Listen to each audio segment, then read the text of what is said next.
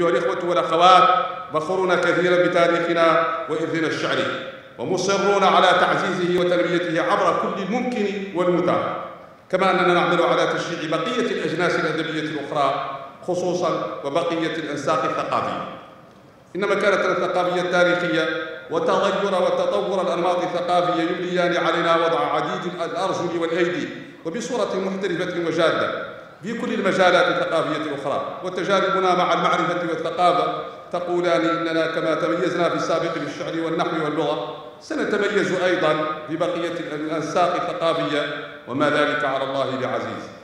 إخوتي أخواتي بيت الشعر هو أحد تجليات وإشراقات التعاون الثقافي بين موريتانيا ودولة الإمارات العربية المتحدة.